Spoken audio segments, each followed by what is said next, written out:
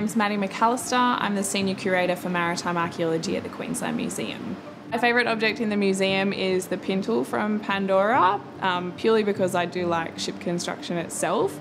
This one's really easy to identify. It also was found very early, so in 1979, and the clues that are inscribed on the pintle actually were the clues that allowed us to identify Pandora as the shipwreck there. My name is Sophie Price. I'm the Assistant Curator of Anthropology at the Queensland Museum. Um, so one of my favourite objects in the collection is this beautiful canoe model of an outrigger canoe from Papua New Guinea. Um, just by looking at the object you can see how much detail and work has gone into creating the model and you can just imagine how much work has gone into making and decorating the full-size canoes that they would have used.